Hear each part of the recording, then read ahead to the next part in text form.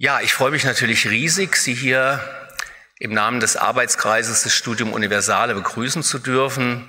Vor allen Dingen, dass sich unsere Säle doch in den letzten Jahren wieder deutlich äh, gefüllt haben und wir offensichtlich ihr Interesse wecken mit unseren Themen. Das Thema in diesem Jahr ist Leben im Umbruch. Natürlich bereiten wir, wenn wir solche Themen uns überlegen, für eine Ringvorlesung, die schon viele Monate im Voraus vor und haben dann meistens immer erstmal so einen Arbeitstitel. Und der Arbeitstitel diesmal war Transformation. Wir hatten gedacht, wir haben ja jetzt schon über Nachhaltigkeit hier berichtet, über Klima im Wandel und äh, ähnliche aktuelle Themen, dass es ja noch sehr viel mehr gibt, was sich momentan in unserer Welt verändert zum Guten, aber man hat oft den Eindruck, es wird alles irgendwie schlimmer. Und da haben wir uns überlegt, naja, wir müssten mal schauen, ob wir nicht eine Reihe zusammenkriegen, wo wir ein paar Themen aufnehmen, die die Menschen bewegt und für die wir interessante Referenten und Referentinnen finden. Da war das Thema Transformation eben am Anfang. Und als wir dann begonnen haben, haben wir festgestellt, dass äh, direkt unsere zweite Veranstaltung äh, hier im Studium Universale zusammentrifft mit einer Veranstaltung, äh, einem Wissenschaftsfestival Globe 23. Und wir fanden den Titel Leben im Umbruch so klasse, dass wir den gleich gekabert haben und auch gemeinsam mit den Verantwortlichen für diese Veranstaltung etwas gemeinsam vornehmen. Sie sehen das, das findet bereits nächste Woche statt, dieses Festival. Und wir werden im Rahmen des Festivals in Gemeinschaft, sagen wir mal, zusammen, auch in Zusammenarbeit mit dem Studio Universale eine Filmvorführung machen, gleiche Uhrzeit wie immer, Mittwoch 19 Uhr. Einziger Unterschied wird sein, dass wir die Veranstaltung im Paulinum nebenan stattfinden lassen. Und unser erster Referent heute, den ich hiermit jetzt offiziell begrüße, Herrn Professor Matthias Medell, der ist vielen von Ihnen sicherlich bekannt. Zum einen ist er Ihnen bekannt als Prorektor dieser Universität. Er ist hier, nachdem Frau Obergfell äh, Rektorin geworden ist, ins Prorektorat gegangen und äh, ist dort zuständig für Campusentwicklung äh, Kooperation und Internationalisierung. Er ist natürlich auch Professor an der Universität, nämlich Professor für Kulturgeschichte. Er ist Sprecher des SFB 1199 ist das, ne, glaube ich. Äh, und vor allen Dingen hier in diesem Kontext Sprecher des Leipzig Research Centers for Global Dynamics. Wenn ich jetzt den wirklich hochinteressanten Lebenslauf von Hemidell wiedergeben würde, seine Publikationen, wo er überall schon tätig war, dann brauche ich wahrscheinlich den Rest des Abends. Deswegen beschränke ich mich auf den interessanten Aspekt, zumindest ich fand ihn interessant, dass er ja wirklich schon sehr lange an dieser Alma Mater war, zwar nicht immer durchgängig, aber doch relativ durchgängig. Er hat nämlich hier schon 1981 mit dem Studium der Geschichtswissenschaften begonnen ähm, und hat dann zwischen 86 und 89 ein Forschungsstudium im Bereich allgemeine Geschichte der Neuzeit gemacht damals noch Karl-Marx-Universität und in dem Falle eine Zusammenarbeit mit der Lomonossow-Universität in Moskau, wo ich auch heute noch immer geschätzte Kollegen habe, mit denen man leider nicht mehr so richtig gut zusammenarbeiten können. Herr Midel hat dann 1989 promoviert zur Geschichte der Gegenrevolution in Frankreich 1789 bis 1792 wie zu erwarten, mit Summa Cum Laude abgeschlossen und sie schließlich im Jahr 2002 habilitiert. Ich sagte bereits, äh, es sieht jetzt aus, als wenn das so ein kontinuierlicher Leipzig-Prozess gewesen wäre. Dem ist allerdings nicht der Fall. Es gibt eine ganze Reihe von wissenschaftlichen Aufenthalten und auch äh, Gastprofessuren, auch schon während der Habilitation. Da ist vor allen Dingen verschiedene Universitäten in Frankreich, unter anderem Paris zu nennen, in den USA, in Indien und Äthiopien, nehme ich mal an, sind Sie auch gewesen, zumindest war die Kooperation so lange, dass Sie wahrscheinlich auch viel Zeit dort verbracht haben. Ich freue mich sehr, dass wir Sie heute hier zu Gast haben mit dem Thema, was kommt nach der Globalisierung und öffne Ihnen das Podium damit. Gut, ja, herzlichen Dank für die äh, freundliche Aufklärung der Frage, die einem öfter gestellt wird, wo kommen Sie eigentlich her? Kommen Sie wirklich von hier? Ja, ich komme wirklich von hier. Ähm, und äh, dann lassen Sie mich mit einer Anekdote beginnen, vielleicht zur Überbrückung. Ähm, es gibt ja dieses berühmte akademische Viertel und ich habe versucht, dem mal nachzuspüren, wo diese Idee eigentlich herkommt. Die gibt es nämlich nur in Deutschland und in Norwegen. Warum in Norwegen kann ich nicht aufklären, aber es gibt zwei Mythen. Äh, der erste Mythos ist, dass äh, die Professoren in der frühen Neuzeit in dieser ersten Viertelstunde die Gebühren für die Vorlesung eingesammelt hätten. Das müssen Sie heute nicht befürchten. Oder zweitens, äh, dass Sie in dieser ersten Viertelstunde zusammengefasst hätten, was Sie in der vorigen Vorlesung gesagt haben, für die, die gefehlt haben, äh, so dass die, die das letzte Mal da waren, eine Viertelstunde später kommen konnten. Das scheint mir eine ziemlich plausible äh, Erklärung, aber die fällt natürlich hier auch aus, weil das die Eröffnungsveranstaltung des diesjährigen Zyklus ist. Also habe ich eine dritte Version gewählt. Sie bekommen jetzt einen Werbeblock in den ersten Minuten. Und zwar möchte ich Ihnen ganz kurz dieses Wissenschaftsfestival vorstellen, mit dem diese äh, Reihe des Studium Universale dieses Jahr in ganz enger Partnerschaft äh, stattfindet. Und ich tue das nicht einfach nur als Werbeblock, sondern ich möchte anschließend auch didaktisch auf das zurückgreifen, was in diesem Festival passiert. Äh, dies ist ein Festival, das es seit drei Jahren gibt und ähm, wir hatten zunächst Titel wie Climate Solidarities. Äh, und dann hat der Geldgeber, das BMBF, gesagt, also das funktioniert überhaupt nicht, wenn ihr englische Titel wählt oder lateinische Vokabeln wie Transformation. Ihr braucht einen deutschen Titel und dann zieht das das Publikum. Deswegen heißt es dieses Jahr Leben im Umbruch. Und wir müssen natürlich mal sehen, ob das so funktioniert, äh, wie, die, äh, wie das BMBF sich das vorstellt. Ähm, worum geht es äh, dabei? Natürlich um die Zeitdiagnose dramatischer Umbrüche. Nun äh, kann ich Ihnen als Historiker sagen, dass relativ viele Leute das Gefühl hatten, in Zeiten dramatischer Umbrüche zu leben. Ähm, aber das beruhigt natürlich überhaupt nicht. Äh, und deswegen müssen die ja thematisiert werden, äh, indem wir zum Beispiel in so einem Festival versuchen, künstlerische Bewältigungen, politische Bewältigungen, akademische Bewältigungen äh, dieser Krisenannahme, Schrägstrich Krisenerfahrung äh, abzubilden. Und Sie sehen, äh, dass es äh, dabei eben ganz viel um Formate geht, die nicht mit den normalen Vorlesungen und Seminaren zu tun haben, äh, sondern aus dem breiten Spektrum der Wissenschaftskommunikation gegriffen sind. Es ist heute für viele Promovierende viel vergnüglicher, an einem Science Slam teilzunehmen, als ihre Dissertation auf 300 Seiten zu entfalten. Äh, und es ist natürlich notwendig, um ein Publikum zu begeistern, auch Show-Effekte einzuziehen, möglichst ohne den Standardphilosophen, der mit Herrn Lanz äh, regelmäßig eine Lanze bricht. Und Filme sind auch ein sehr beliebtes Instrument. Ähm, hier ganz kurz das Programm. Ähm, es geht einmal um die Frage, äh, wer redet eigentlich heute mit wem, wenn wir über Diplomatie äh, reden? Wie werden Informationen äh, für diplomatische Verhandlungen bereitgestellt? Wer weiß eigentlich was?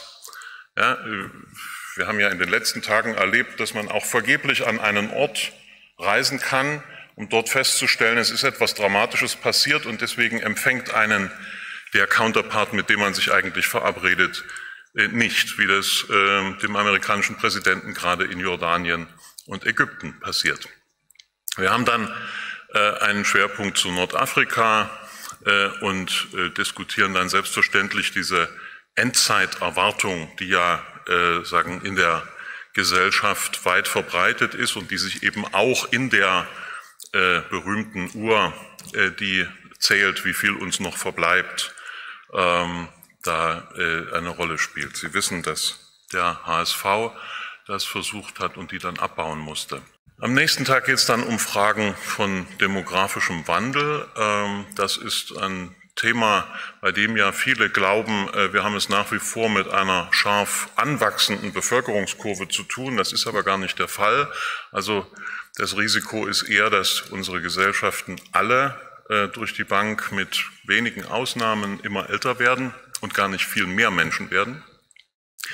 Dann geht es um die Frage, die wir bei der Immatrikulationsfeier schon äh, hatten. Wie stehen Klimaprotest äh, und die rechtsstaatlichen Normen eigentlich in einem Verhältnis zueinander? Äh, dann gehen wir wieder durch die verschiedenen äh, Weltregionen, in diesem Falle Westafrika, Sahelzone und ähnliches. Wollen Sie dann, wenn Ihnen das vielleicht Spaß macht, äh, auf den Leuschnerplatz entführen? Im Moment ja noch eine Brache aber in wenigen Jahren wahrscheinlich das Zentrum der Wissenschaftsgebäude in dieser Stadt äh, und wollen sie mit einem Rundgang einführen in alles, was da entstehen soll. Und schließlich behandeln wir KI als eine Frage, äh, die uns alle bewegt, wenn es um die Zukunft geht. Migration, die Frage, was hat das alles für Folgen für das Bildungssystem und dann nochmal Afrika und die Kinderuni mit dem Roboterhund Spot, neue europäische Sicherheitspolitik äh, als weitere Stichpunkte. Sie sehen hier, äh, das ist ein natürlich äh, Mosaik, ein Mosaik, bei dem hoffentlich verschiedene Interessen bedient werden, aber vielleicht auch die, die sagen, ich will Aufregendes über drei Tage hintereinander äh, erleben, nicht gelangweilt werden. Und äh, Sie sehen gleichzeitig, und das war sagen mein didaktischer Trick, von dem ich hoffe, dass er klappt, dass das jetzt bei Ihnen diese Themen, Assoziationen wecken mit der Frage, ja, ja, das ist wohl alles in der Welt los. Äh, wie hängt das eigentlich alles miteinander zusammen? Kann man das in eine Erzählung packen? Und diese Erzählung äh, hat man mir hier aufgegeben. Ähm, ich betone an diesem Titel das Fragezeichen. Äh, denn natürlich ist die Frage eine rhetorische, was kommt nach der Globalisierung? Erstens setzt das ein bestimmtes Globalisierungsverständnis voraus, auf das ich gleich noch ein bisschen eingehen will. Aber zweitens ist es die völlig falsche Erwartung an einen Historiker, dass er die Zukunft voraussagen könnte. Ich Ihnen also wirklich prognostizieren würde, was nach der Globalisierung kommt. Ich vermute, nach der Globalisierung ist noch ein ganzes Stück hin. Aber selbst wenn dieser Zeitpunkt eintreten sollte, wird es schwierig zu sagen, was dann genau passieren wird. Das möchte ich mit Ihnen in den nächsten Minuten kurz durchgehen. Will anfangen mit der Idee, äh, mit welchen Diagnosen haben wir es überhaupt zu tun? Also worauf gründet sich all das, was da vermutet wird? Dann möchte ich zweitens kurz äh, ein Schlagwort diskutieren, das im Moment große Popularität hat. Wir lebten in einer Zeit der Multikrise und Multikrise sei etwas Besonderes. Also ähm, für Leute, die es satt haben, dass immer Krise ist, ist jetzt endlich mal Multikrise, ähm, was dann äh, natürlich äh, besonders äh, anstrengend ist und darüber müssen wir äh, reden. Und das führt dann zu der Frage natürlich, können wir eine Multikrise überhaupt erkennen, wenn sie zum ersten Mal ausgebrochen ist. Äh, woran würde man das wohl bemerken? Äh, und haben wir da möglicherweise ein erkenntnistheoretisches Problem, äh, die Umstände, in die wir gerade hineingeraten sind, äh, genau zu durchschauen? Aber ich will Sie dann natürlich nicht ganz äh, rauslassen, ohne Ihnen wenigstens ein paar der vermuteten Krisendimensionen im Einzelnen äh, zu erwägen. will dann die Frage stellen, ähm, wer macht da eigentlich was mit dieser Krise und mit dieser Globalisierung? Ähm, dann erlauben Sie mir einen ganz, ganz, ganz kurzen Exkurs in die Geschichte. Das heilt häufig gegen oder hilft gegen die Vorstellung, man erlebe irgendetwas zum ersten Mal. Dafür werden in der Gesellschaft auch Historiker beschäftigt, dass sie diese Beruhigungspille äh, verteilen, zu sagen, Leute, nicht aufregen, es ist das 18. Mal, dass wir das durchmachen und es wird auch danach wieder anders. Es wird wahrscheinlich nicht gut, aber es wird auf jeden Fall anders, das wissen wir aus der Geschichte. Äh, und äh, dann habe ich mir überlegt, äh, es könnte sein, dass sie nicht mit einer äh, depressiven Botschaft ähm, also es ist schlimm, die Krise, und es ist aber auch gleichzeitig schon zum x-ten Mal hier rausgehen wollen, sondern so eine Art Handlungsanleitung äh, haben wollen, wie man das jetzt machen muss, diese Krisen zu bewältigen. Und ich hoffe, dass mir das in einem Schluss äh, gelingt, so dass Sie zu Hause erzählen können, passt auf, Kinder, wenn wir Folgendes machen, äh, dann ist das alles eigentlich gut in den Griff zu kriegen.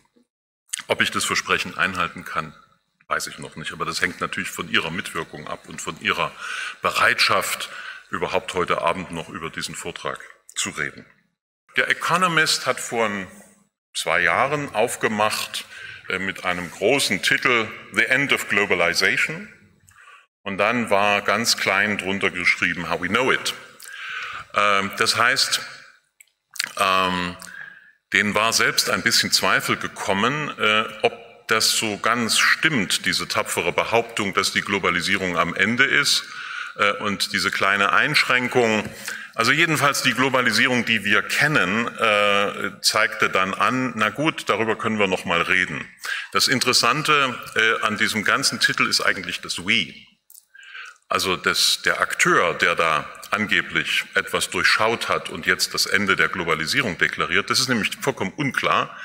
Aber natürlich kann man vermuten, dass die Redaktion sich selbst meinte, das heißt eine Redaktion von Ökonomen, äh, die faktisch mal über sich selber reden wollten und über ihr Globalisierungsverständnis. Aber das ist keineswegs, äh, sagen, eine Ausnahme, diese Art, äh, das Ende von etwas zu verkünden, sondern das kennen wir seit äh, vielen Jahren. Man könnte sagen, es ist konstitutiv, mindestens für die Moderne, ähm, zu sagen, man lebe nun in einer neuen Zeit und diese neue Zeit grenze sich haarscharf ab von einer Vergangenheit. Der wichtigste Referenzpunkt ist sicherlich die Französische Revolution, äh, in der innerhalb weniger Wochen nach ihrem Ausbruch äh, bereits der Terminus Ancien Regime populär wurde. Also die Vorstellung, man habe ein altes Regime verlassen und lebe nun in einem neuen.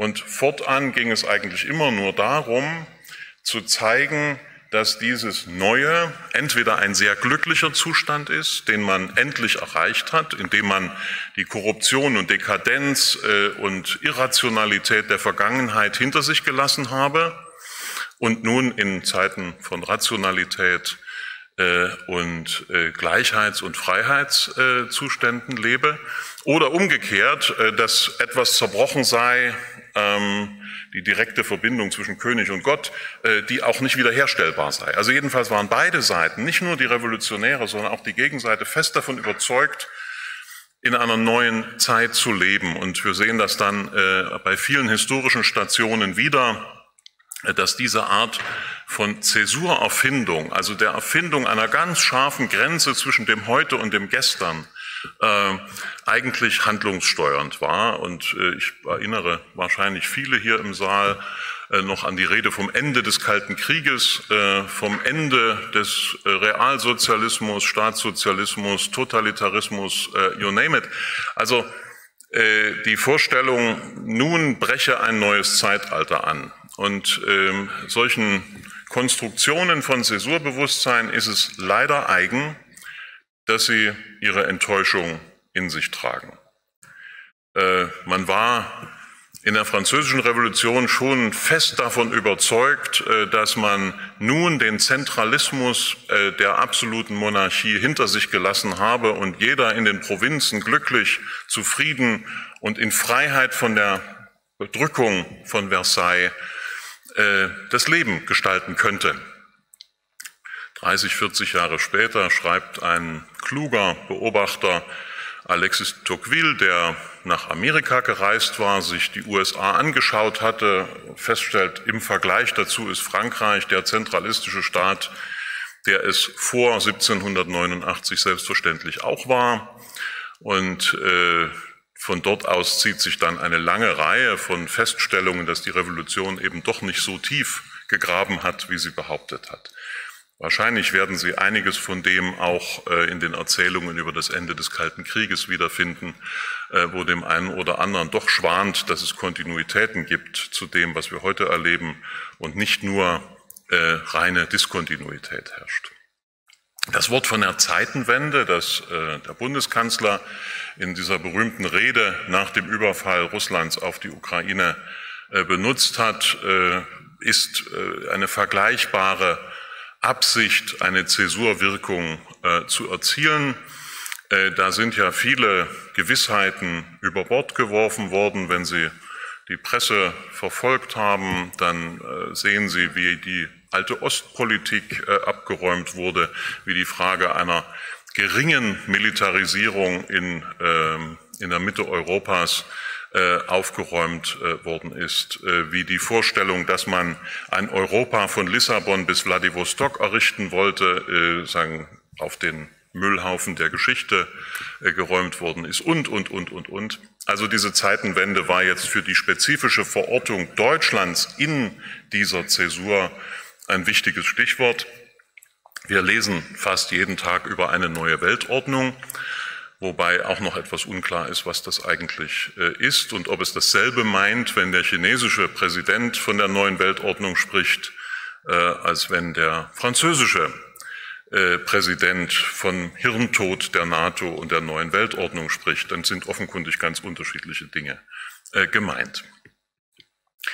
Wir haben eine breit entfaltete Rede, dass der gesellschaftliche Zusammenhalt in Gefahr sei oder schon dahin sei, dass Polarisierungen dazu führen, dass dieser gesellschaftliche Zusammenhalt also nicht mehr kittbar ist oder doch wiederherstellbar. Das ist nicht so ganz klar, aber jedenfalls, dass wir auch in einer neuen Zeit leben, dass der gesellschaftliche Zusammenhalt neu begründet werden müsste. Und es ist völlig in Vergessenheit geraten, dass dieser Begriff mal entstanden ist, um der CDU Optionen für die Integration äh, der Bewegungen rechts an ihrem Rand äh, äh, zu geben.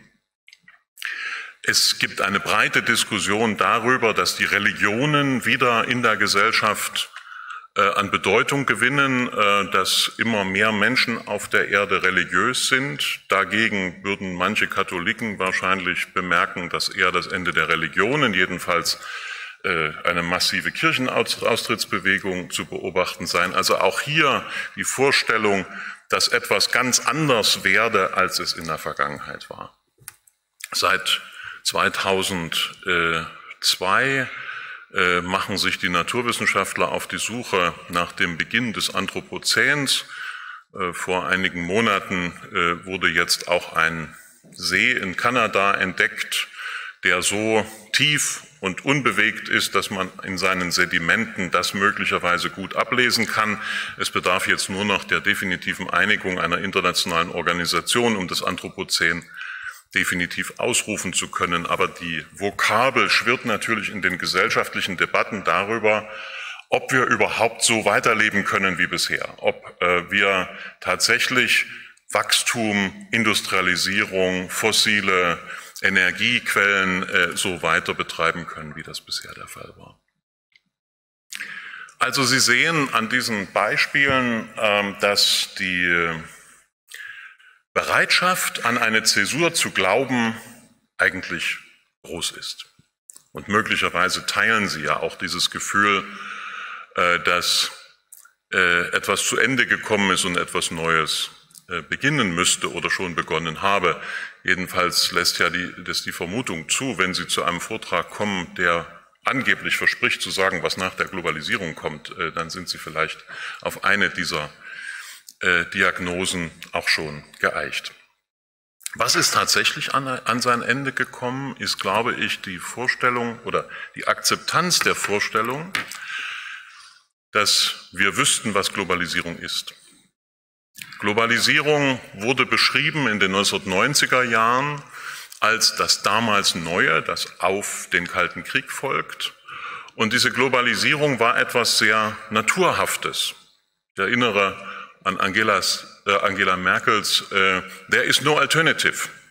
Globalisierung ist gewissermaßen die Endbegründung für alles. Leider können wir in der Politik keine Alternativen mehr denken und praktizieren, denn die Globalisierung ist mächtiger als die Politik in Einzelstaaten. Ähm, und demzufolge gibt es keine Alternativen. Wir müssen einfach tun, was diese Globalisierung uns vorschreibt. Ich habe mir die immer vorgestellt als eine Hydra mit mehreren Köpfen, die irgendwo in einer Höhle haust, diese Globalisierung und die da rauskommt und dann äh, irgendwie das Berliner Establishment dazu zwingt, bestimmte Entscheidungen äh, zu treffen, äh, aber dann gleich weiterfliegt nach Washington, äh, weil dort wirkt sie ganz genauso. Äh, also eine seltsame äh, Personifizierung der Globalisierung, die wurde in vielen Formulierungen zu etwas, was tatsächliche Handlungsmacht hat. Die Globalisierung macht etwas, so als wären nicht die Menschen diejenigen, die das Leben auf diesem Planeten gestalten, sondern als wäre es so ein Anonymus äh, genannt Globalisierung. Diese Globalisierung wohnte natürlich im Westen, etwas unklar, ob in Europa oder in den USA, aber eigentlich gab es ziemlich viel Gewissheit, dass sie in den USA primär wohnt, wahrscheinlich Nebenwohnsitz Westeuropa ähm, mit entsprechenden äh, Zweitwohnungssteuern oder ähnlichem.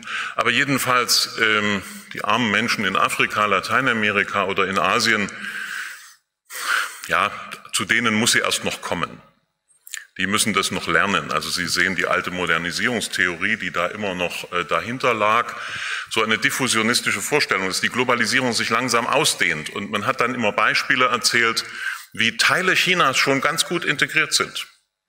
Also besonders die äh, Zonen in Südchina, äh, die faktisch in den internationalen äh, Wertschöpfungskreislauf vollkommen integriert waren.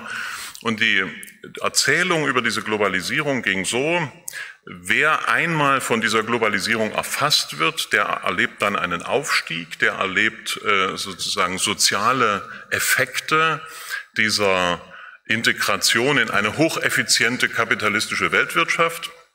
Und diese Profit, äh, profitablen Effekte führen dazu, dass dann verteilt werden kann, dass also anschließend so eine Art sozialer Ausgleich stattfindet.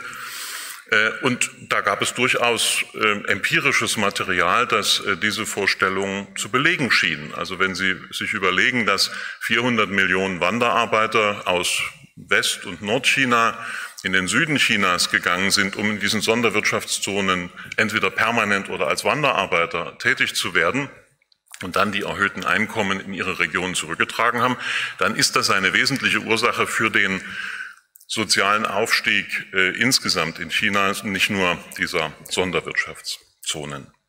Kurz, äh, das ist eine äh, Wirkung der Globalisierung, die auch homogenisierend wirkt. Selbstverständlich kommt das alles mit äh, Jazz, Rock'n'Roll, Hollywood und so weiter. Die Franzosen sind immer etwas panisch, wenn sie das Wort Globalisierung hören, weil sie denken, das würde ihre nationale Kultur definitiv runterreißen. Ähm, interessanterweise haben sie in der ganzen Zeit ihre Cafés durch Teehäuser ersetzt, ohne das irgendwie mit Globalisierung in Verbindung zu bringen.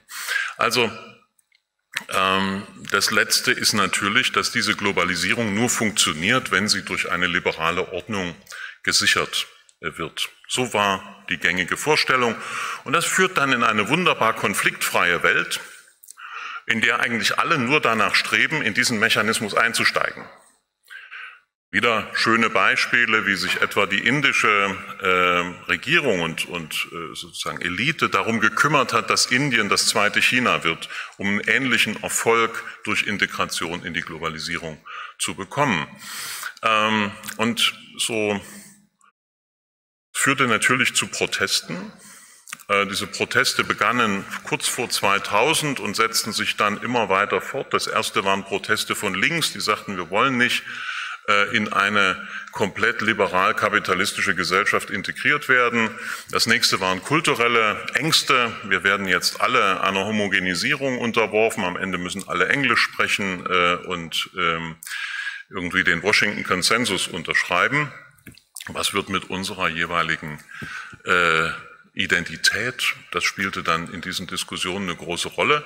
Und dann entdeckte eher die populistische Rechte das Thema äh, und sagte, also diese Globalisierung hat natürlich ganz schreckliche Effekte, weil sie ja Grenzen niederreißt, die Kontrolle über Migrationsströme verringert, die Idee, dass der Staat die zentrale Instanz der Umverteilung ist, eigentlich wegwischt. 1997 ein Buch äh, erschienen, Das Ende des Staates und keiner hat gelacht.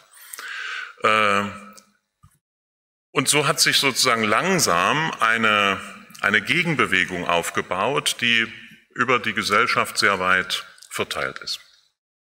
Also jetzt nicht nur sagen marginale Gruppen erfasst, sondern sehr breit in die allgemeine Einstellung der Gesellschaft äh, eingedrungen ist und diese mythische Geschichte von der Globalisierung, die alles immer schöner macht, die stieß natürlich auf das, was zu erwarten war, die eine oder andere Finanz- und Wirtschaftskrise, die dramatischen Konflikte, die in der internationalen Arena ausgebrochen sind, auf das in der Globalisierungserzählung eigentlich nicht erklärbare Phänomen des Terrorismus und so weiter und so fort. Also wie es immer so ist mit Mythen, am Anfang sehen die ziemlich gut und überzeugend aus und dann kommt dieser schreckliche Einschlag der Empirie äh, und die Leute sagen, ah, ganz so einfach scheint es doch nicht zu sein. Also meine These ist, die Globalisierungsideologie der 90er Jahre ist am Ende, die Globalisierung ist keineswegs am Ende.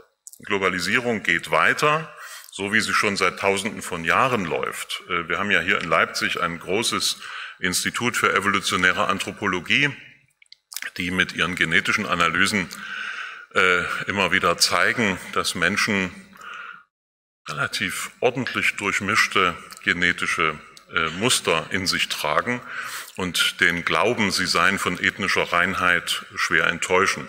Also der einfache Fall ist, dass der Urgroßvater doch fremdgegangen ist, aber der viel schlimmere Fall ist ja, dass die ganz weit zurückliegenden Vorfahren schon Sex mit Neandertalern hatten. Ähm, und lassen Sie sich dort bloß analysieren und Sie werden feststellen, dass es möglicherweise auf Sie auch zutrifft. Dass also Wanderung, Austausch, äh, Vermischung schon immer ein Phänomen äh, der menschlichen Entwicklung waren und keineswegs irgendetwas, was 1900 entstanden ist, nur weil die Industrie, das Dampfschiff und ähm, die Eisenbahn das infrastrukturell besonders gut ermöglicht haben. Also, die Diagnosen, das will ich mit diesem ersten Slide sagen, die Diagnosen sind mächtig, aber sie treffen nach meinem Eindruck nicht den Kern der ganzen Sache, sondern äh, setzen sich weiter mit einem Mythos auseinander, anstatt den Mythos zu entlarven. Ähm, ein zweiter, äh, eine zweite Denkfigur, die prominent geworden ist in der letzten Zeit, ist die Multikrise. Das hatte ich vorhin schon gesagt. Es ist interessant, wie einig sich Politiker und Akademiker zu sein scheinen, dass sie in einer solchen Multikrise leben. Man liest das relativ häufig jetzt ähm, äh, auch als Entschuldigung, warum irgendwas nicht klappt. Wir haben halt Multikrise. Also das ist wie Corona und Grippe gleichzeitig oder so. Ne? Dann kann man sich auch nicht einfach impfen lassen, sondern das äh, muss man irgendwie ertragen. Multikrise ist also auch eine Aufforderung, die Welt so zu nehmen, wie sie nun mal ist. Ähm, klar ist, dass in diesem Begriff die Idee steckt, dass es verschiedene Krisen oder verschiedene Krisendimensionen gibt äh, und die sich irgendwie überlagern, verflechten. Aber genau wissen wir das auch nicht. Also Multikrise ist irgendwie so wie so ein Knäuel, äh, dass man nicht ordentlich sortiert kriegt. Natürlich finden sich Philosophen, die sofort äh, sagen, Dimensionen unterscheiden, Ökonomie, Ökologie, Soziales und Politik.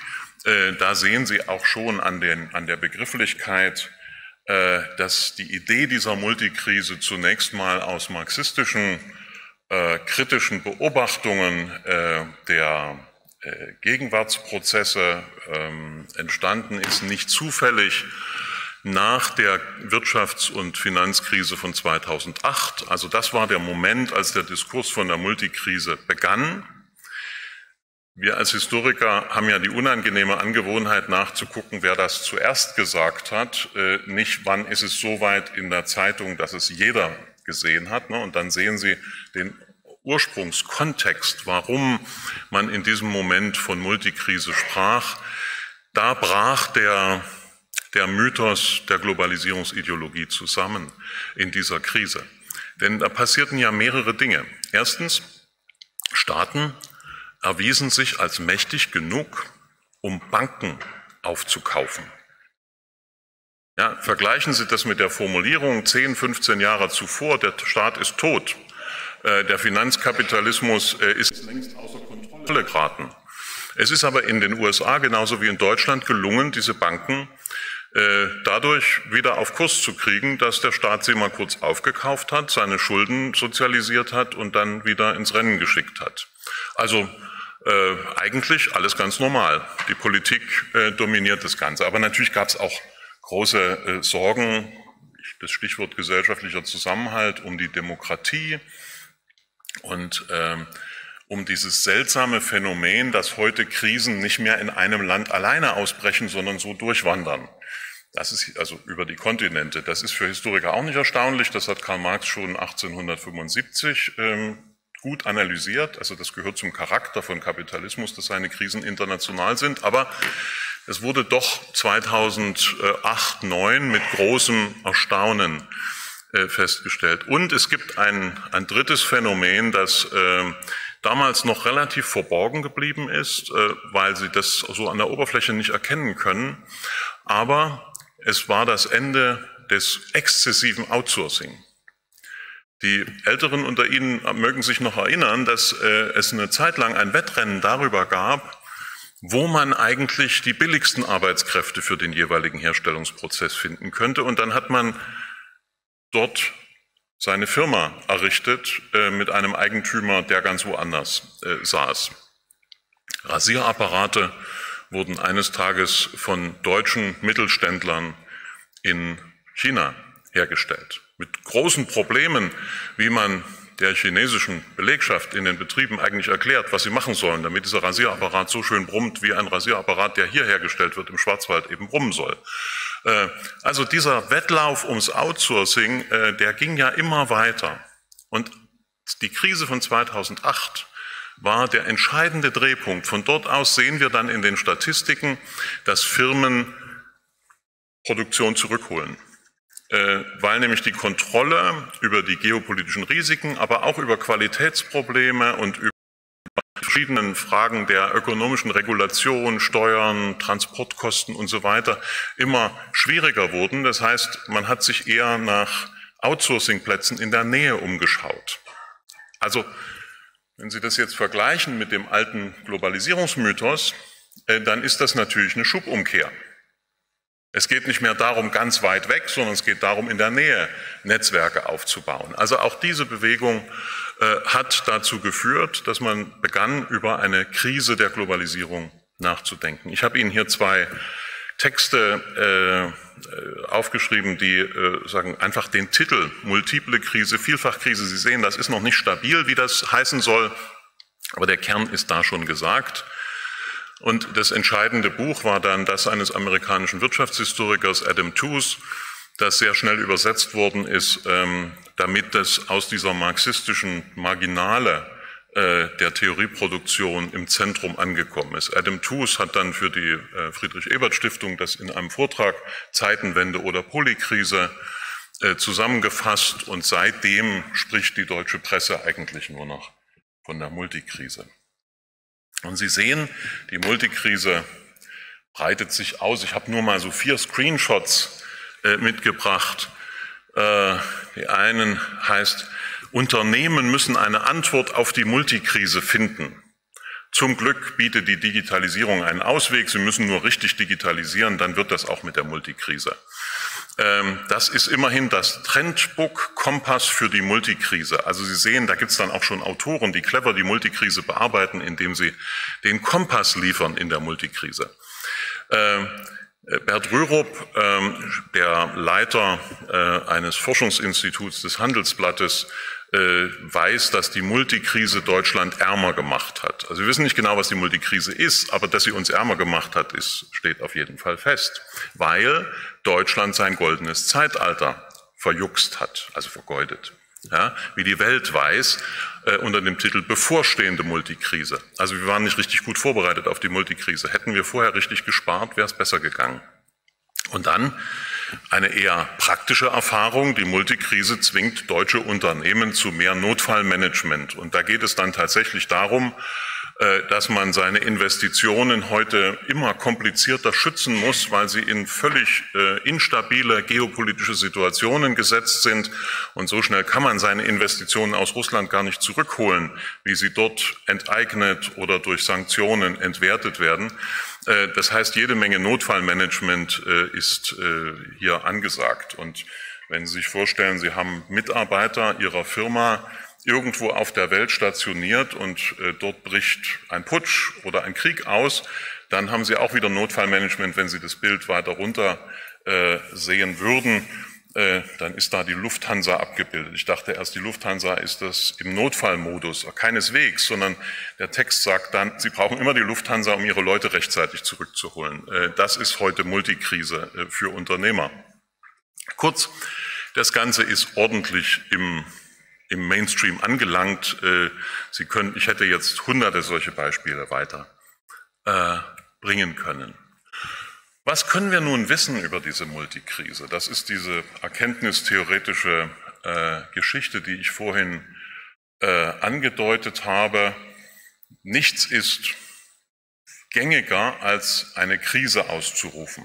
Ich nehme an, Sie tun das verschiedentlich auch zu Hause, wenn was angebrannt ist oder keiner zum Essen kommen will äh, oder Haus, äh, Hausordnung nicht gemacht worden ist, ist. Krise ist eigentlich immer.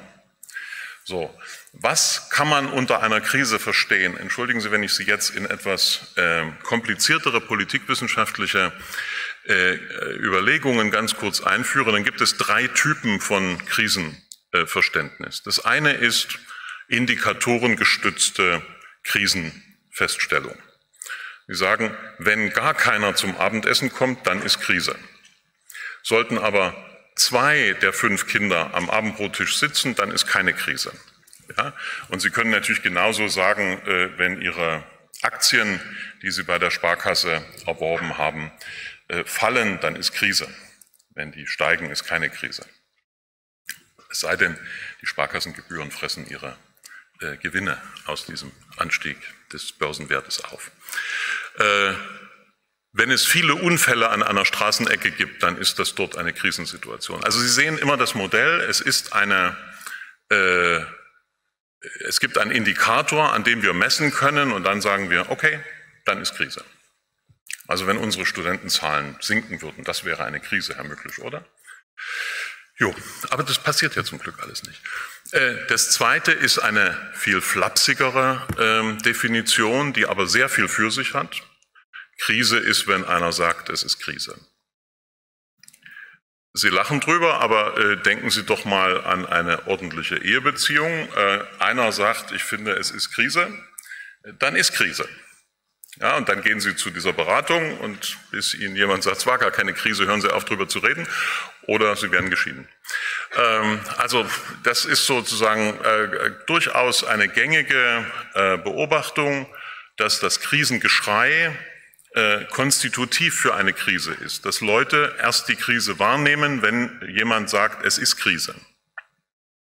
Ganz egal, was die Indikatoren sagen.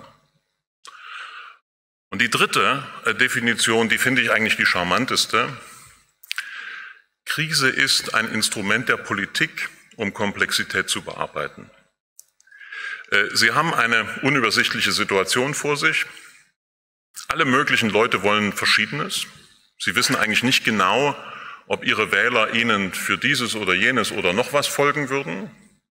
Dann erklären Sie diesen Gegenstand zur Krise, zum krisenhaften Gegenstand und reduzieren die ganze Geschichte auf zwei Wege. Entweder es bleibt, wie es ist, oder wir machen Folgendes. Ja, also die Erklärung der Krise dient dazu, dass Sie die Komplexität von vielen Varianten auf eine binäre Lösung reduzieren können. Können Sie heute Abend auch ausprobieren. Entweder ihr kommt jetzt zum Essen oder hier ist Schluss und es gibt gar nichts mehr. Ja, das ist ein klassisches politisches Szenario, mit dem Sie Ihre Familie einigermaßen durch das Nadelöhr dieses Abendessens bringen können. Ich sehe schon an Ihren Gesichtern, Sie haben alle das Problem nicht, dass keiner zum Essen kommen will. Aber äh, also ich hoffe, es ist deutlich geworden, worum es geht. Äh, ja, es ist ein Instrument von Politik. Und nun ist das Besondere an der Multikrise, dass dieses Instrument versagt. Weil sie ja in einer Krisendimension zwar binäre Lösungen vorschlagen können, aber nicht gleichzeitig in verschiedenen. Sie können nicht gleichzeitig sagen, der Krieg ist absolute Priorität, dort wird alles verteidigt, was uns wichtig ist, und wir wollen die CO2-Emissionen dramatisch senken. Das schließt sich auf eine gewisse Weise aus. Ja, und äh, hier ist jetzt das Dilemma, das kriegen Sie jetzt nicht mehr durch die binäre Lösung hin, so nach der Devise, wollt ihr jetzt CO2-Emissionen oder Krieg? Ähm, das funktioniert nicht. Ähm, und das ist das Dilemma, vor dem Politik gegenwärtig, glaube ich, steht. Dazu kommt, dass wir natürlich nicht sagen können, wie das jetzt ausgeht mit der Multikrise. Ne? Also wir sollen Prognosen in laufenden Prozessen abgeben. Wir können das gar nicht wissen, ob diese Multikrise eine Multikrise ist und werden wird oder bleibt oder erst noch beginnt und so weiter. Naja, und das Dritte, das kennen Sie jetzt schon aus dem ersten Slide. Äh, ich als Historiker bin sowieso skeptisch, ob solche Zäsurdeklarationen äh, mehr sind als Rhetorik. Was wir allerdings messen können, und das funktioniert ziemlich gut, das ist zu schauen, wie viele Leute sind beunruhigt durch das Reden über die Krise. Ja, und alle äh, Umfragen zeigen äh, im Prinzip zwei ähm, äh, Werte erhöht. Das eine ist Beunruhigung über die Multikrise und das zweite ist Uneinigkeit darüber, wie man sie auflösen soll. Also es funktioniert das Reden über die Multikrise und äh, vielleicht auch bei Ihnen. So, gibt es Krisendimensionen, die wir irgendwie sinnvoll analysieren können? Ich möchte Ihnen ganz kurz fünf vorstellen, äh, von denen ich wirklich glaube, dass sie globalen Charakters sind. Das erste ähm, ist, dass wir in einer Welt leben, die einer dramatischen Neuverräumlichung unterliegt. Der Begriff ist ungewöhnlich, aber offenkundig ist ja, dass der Trend, dass am Ende eine Welt aus lauter demokratischen Territorialstaaten äh, besteht, die Mitglied der UNO sind und dort abstimmen, äh, naja, jedenfalls nicht besonders plausibel. Ja, äh, sondern wir haben es mit Neoimperialismus zu tun, wir haben es mit der neuen Bedeutung von internationalen Zusammenschlüssen zu tun. Die EU ist uns gut vertraut. Die Afrikanische Union ist gerade Mitglied der G20 geworden, äh, also äh, sagen aufgewertet worden im Sinne von äh, sagen ein, ein Staatenzusammenschluss äh, ist so gut wie ein Staat selber. Das bestätigt sagen, das deutsche Vorurteil, dass Afrika wahrscheinlich überhaupt nur ein Land sei. Ähm, wir haben eine vollkommene Unsicherheit darüber, was die Amerikaner eigentlich machen und wollen. Ja, also seit Trump äh, gibt es eine schwere Beunruhigung überall auf der Welt. Wohin geht denn das jetzt? Ähm, ist die höchste Priorität, sich mit China auseinanderzusetzen oder geht es um westliche Werte oder geht es weiter um die Kontrolle der Pax Americana und so weiter und so fort? Wir haben den erfolgreichen, aber inzwischen natürlich auch ein bisschen in die Jahre gekommenen Versuch der chinesischen Führung, dem Teil der Welt, der nicht durch den Westen mit Infrastruktur versehen worden ist, eine vergleichbare Infrastruktur zu verschaffen, also die äh, One, ähm, One Belt One Road äh, Initiative, also äh, diese, diese berühmte, dieser berühmte Versuch Chinas, ähm, Schiffsstrecken Eisenbahnstrecken, äh, Pipelines äh, dort zu errichten, wo sie bisher gefehlt haben. Wenn Sie eine Weltkarte sich vor zehn Jahren angeschaut haben, dann sehen Sie die großen Lücken und die werden äh, Stück für Stück geschlossen. Das ist selbstverständlich alles hochproblematisch. Und die vorhin schon erwähnte Verkürzung der Warenketten ist auch so ein Phänomen, äh, das natürlich dazu führt, dass das nahe Ausland, wie Putin es nennen würde, wichtiger wird. Also jene geopolitische Umgebung, mit der man lebt und die natürlich eine direkte Beziehung zum Neoimperialismus äh, in vielen Bereichen hat. Also wir erleben eine Neuverräumlichung der Welt, die gegen die Erwartungen einer Homogenisierung der Raumstrukturen, die für die Welt relevant sein könnten, äh, nahelegt, äh, dagegen spricht. Äh, und das bedeutet, wir, und das wir ist jetzt sehr anonym, vielleicht betrifft es erst die nächste Generation, müssen lernen, diese komplexere Raumstruktur der Welt zu verstehen. Ähm, ich habe lange überlegt, ob ich Ihnen hier das Wort Literacy zumute. Mir ist kein gutes deutsches Wort eingefallen. Literacy meint Lesefähigkeit. Ja, aber lesen, die Raumstruktur der Welt lesen können, ist nicht simpel alphabetisiert sein, sondern das heißt, über die nötigen Instrumente zu verfügen, um diese neuen Raumstrukturen überhaupt zu erkennen. Und die stecken verborgen in unseren Zeitungen. Wenn Sie die lesen, da ist immer die Rede äh, von Ländern. Es betrifft aber häufig nur Teile dieser Länder oder es betrifft Firmen, die überhaupt nicht mehr in diesen Ländern produzieren, aber dort äh, sitzt vielleicht äh, das Headquarter und ähnliches. Das heißt, wir müssen lernen, bei der Wahrnehmung der Welt diese Verräumlichung zu lesen. Zweitens, äh, zweite große Krise ist tatsächlich äh, die Frage, was ist eigentlich mit dem Zusammenhalt? Ist dieser Zusammenhalt tatsächlich noch in den Mustern territorialisierter Gesellschaften, also Nationalgesellschaften, plausibel?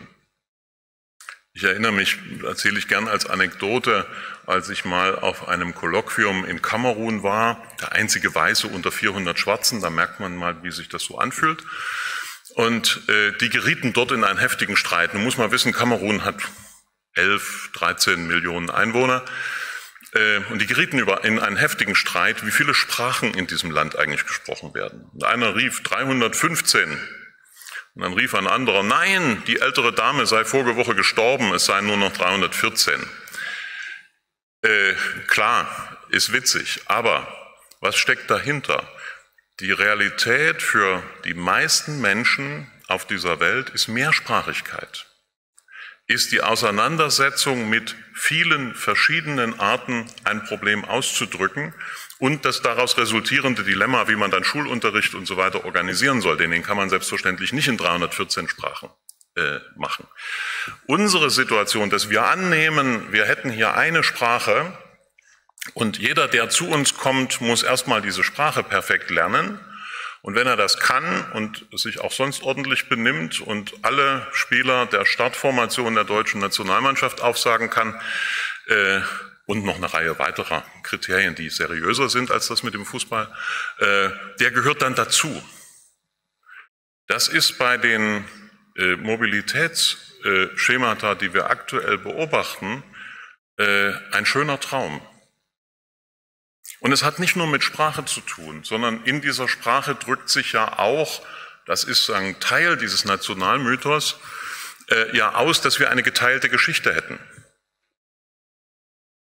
Ich weiß gar nicht, mit wem hier im Raum ich eine Geschichte komplett teile, aber wahrscheinlich hat uns der Geschichtsunterricht doch ein paar Anhaltspunkte gegeben, äh, die auf eine gemeinsame Geschichte hindeuten sollen. Nur, was mache ich denn mit jemandem, der diesen Schulunterricht in einem anderen Land erlebt hat und ein ganz anderes Geschichtsbild bekommen hat? Jetzt aber hier lebt, hier arbeitet. Muss der nochmal zur Schule gehen? Äh, am besten mit Heimatkunde anfangen, bevor Geschichte losgeht? damit er weiß, welche Bäume hierher gehören, die aber gerade abbrennen und durch invasive Arten ersetzt werden und so weiter. Also es ist ja ein Riesenproblem, das wir haben. Äh, und unter diesen Bedingungen wird Zusammenhalt neu definiert, ob wir es wollen oder nicht. Und das ist jetzt kein Plädoyer für unbegrenzte Einwanderung oder sowas. Das ist einfach die Anerkennung der Tatsache, dass es auf dieser Welt einen erhöhten Grad an Mobilität gibt, dass wir ein hohes Interesse haben, also jedenfalls die richtigen Zuwanderer zu uns zu bekommen, die die Lücken in unseren Beschäftigungsverhältnissen schließen und äh, was die sozialkulturellen Folgen sind. Es hat aber auch damit zu tun, wenn Sie Mitarbeiter bei Volkswagen sind, dass Sie Teil einer großen Belegschaft sind, die nach Mexiko und nach China reicht. Dass Sie also vielleicht eher gemeinsame Interessen mit jemandem in Guadalajara haben, als mit jemandem in Zwickau, der gar nichts mit Volkswagen zu tun hat. Das heißt, Solidaritäten, Verbindungen, Vernetzungen und natürlich alles, was daraus folgt, also Eheschließungen, Kinder und so weiter, äh, geht entlang anderer Linien, als das vielleicht im 19. Jahrhundert gedacht worden ist. Äh, und das führt dazu, dass äh, der gesellschaftliche Zusammenhalt natürlich von uns neu gedacht werden muss. Und das stößt auf heftige Abwehrreaktionen. Das stößt auf Stress. Leute sind strikt dagegen, dass das alles passiert. Wie immer ist es schön, wenn das Wünschen hilft, aber es passiert trotzdem. Gleichwohl müssen wir uns damit auseinandersetzen, dass die Zuspitzung, Radikalisierung von Identitätspolitik als Reaktion auf diesen Prozess eine genauso wirkmächtige soziale Realität ist wie diese Mobilität. Das heißt, all die Rassismen, die Fremdenfeindlichkeit, äh, das Bestehen auf einer eigenen Identität, die ganz anders sei als die meines Nachbarn, äh, ist Teil dieser Aushandlung des neuen gesellschaftlichen Zusammenhalts. Da kommen wir überhaupt nicht drum rum. Es macht keinen Sinn zu sagen, das dürfen die so nicht sagen und denken. Die machen das nämlich trotzdem. Ja? Und das bedeutet, äh, wir müssen lernen, die Gesellschaft, das Soziale anders zu lesen als in der Vergangenheit. Diese, dieses Lesen im Rahmen des Nationalstaates ähm, ist, ich will nicht sagen vorbei, aber jedenfalls nicht mehr genügend. Wir müssen lernen, anders die Gesellschaft zu lesen. Und auch das wird dauern. Drittens, epistemische Konkurrenz, ein furchtbares Fremdwort, ist klar, aber Sie müssen sich das einfach vorstellen. Äh, in der Vergangenheit äh, lebten doch die Menschen in etwas, was sie Kulturkreise nannten. Und haben dann, also ist auch eine Fiktion selbstverständlich, aber ähm, diese Kulturkreise hatten den Vorteil, dass sie zum Beispiel relativ identisch waren mit dem Wirkkreis einer Religion. Und dann kam woanders die Wirkung einer anderen Religion. Selbstverständlich können wir als Historiker stundenlang Geschichten erzählen, was in den Grenzräumen zwischen diesen Kulturkreisen passiert ist. Und das ist alles hochspannend. Aber dieser Prozess hat sich massiv verstärkt. Äh, gehen Sie hier die Straße lang, fragen Sie 100 Leute, welcher Religion, welchem Verständnis von Säkularität, welchem Verständnis von Gesellschaft, von Rechtsstaat oder was auch immer sie angehören. Und sie werden eine große Vielfalt äh, bekommen als Ergebnis. Es sei denn, sie suchen die Straße so gezielt aus, dass wirklich alles noch richtig heil ist. Und nur ist die Frage, wie gehen wir damit um? Das setzt uns ja offenkundig unter Stress. Und wir können unsere Energien investieren in die Abgrenzung, in die Definition unserer Andersheit. Das macht aber natürlich, wenn das alles auf engstem Raume stattfindet, im Unterschied zur Vergangenheit, den Stress immer größer. Also könnte es sein, dass wir in Zukunft lernen müssen, was wir eigentlich von dem anderen lernen können. Ob da nicht was drinsteckt in dessen gedanklicher Logik, was für uns wertvoll sein könnte. Also mal neugierig sein, ob man aus diesem Koran nicht irgendein interessantes Konzept von Banking ableiten könnte, das dem der einen oder anderen Sparkasse überlegen ist. Äh, nur um ein Beispiel zu geben. Ähm, viertens, das ist Ihnen allen klar, wir leben mitten in einer Neuordnung des Menschen-Natur-Verhältnisses. Und das wird einhergehen mit einer dramatischen Neubewertung unserer eigenen Geschichte. Wie gehen wir damit um, dass der Wachstumspfad, den westliche Gesellschaften genommen haben und nach dem berühmten Diktum eines Umwelthistorikers David Christian äh, es geschafft haben, in 200 Jahren äh, das zu verbrennen, was in 200 Millionen Jahren sedimentiert war, äh, dass dieser Weg nicht wiederholbar ist für andere. Was machen wir damit? Nun gibt es Leute, die anderen, die sagen, na, na, erstmal müssen wir euren Pfad äh, nachmachen und dann, nun, das hat aber offenkundig dramatische Folgen für äh, die, den gesamten Planeten. Äh, dann gibt es diejenigen, die sagen, hm, ihr hattet einen Vorteil, für den müsst ihr jetzt kompensieren. Also ihr müsst unseren Umbau äh, zu einer anderen Art von Energiegewinnung kofinanzieren. Und dann gibt es drittens natürlich die, die sagen, hm, lasst uns noch ein bisschen weiterfahren. Äh, solange wir die Macht dazu haben, gehen wir diesen Weg noch ein bisschen und dann schauen wir mal, wie es ausgeht. Das stößt aber ganz offenkundig auf Widerstände der nächsten Generation, die sagen, hm, das verbraucht möglicherweise unsere Zukunft. Ja? Dasselbe ließe sich sagen äh, für das Thema Zoonosen die wir gerade hinter uns gebracht haben. Ja? Äh, wir haben ein, das hängt mit unserer Siedlungsform zusammen, die wir vor 12.000 Jahren eingeübt haben. Da sind wir sesshaft geworden äh, und haben Tierzucht angefangen zu betreiben. Und das bedeutet, dass wir relativ nahe an Tieren leben, die uns zur Nahrung dienen oder äh, das wird ja Gegenstand einer der Vorlesungen sein. Äh, aber die jedenfalls sehr nah an uns leben, so dass die Wahrscheinlichkeit, dass weitere Zoonosen entstehen, dass also Viren überspringen äh, auf Menschen, statistisch permanent steigt. So, wie gehen wir mit diesem Phänomen weiter um? Auch wieder Mensch-Natur-Verhältnis sortieren. Und was wir neu denken müssen, ist, welchen Teil der Natur wir überhaupt als Ressource bezeichnen wollen. Und was passiert, wenn wir Dinge aussortieren, wenn wir Dinge nicht mehr als Ressource sehen? Ich mache jetzt nur ein bisschen Werbung für die Vorlesung über, was ist im Strukturwandel eigentlich los. Da werden wir ja äh, bestimmte äh, Ressourcen, Kohle, äh, aussortieren und sagen, ist, das soll keine Ressource mehr für uns sein, so wie wir es schon mal mit dem Atomstrom äh, gemacht haben. Also äh, das ist auch ein Lernprozess, äh, den wir betreiben müssen. Fünftens, ähm, Digitalisierung, hat jeder schon gehört, äh, bedeutet natürlich die Befreiung von einer bestimmten Art körperlicher Arbeit. Äh, das ist das Versprechen von Arbeit 4.0, äh, die aber einhergeht mit zwei Dingen. Erstens einer intensiven Vernetzung. Sie können diese Fabriken der neuen Art nicht betreiben ohne massive Vernetzung. Diese Vernetzung bedeutet aber extreme Sicherheitsanfälligkeit. Und das Zweite ist, Daten werden immer wichtiger. Sie sind für manche Firmen nur noch eine Ansammlung von Daten, die sie bitte liefern sollen. Das ist nicht schön, aber muss man anerkennen. Also machen Sie jetzt Ihr Telefon aus, sonst werden Sie geortet.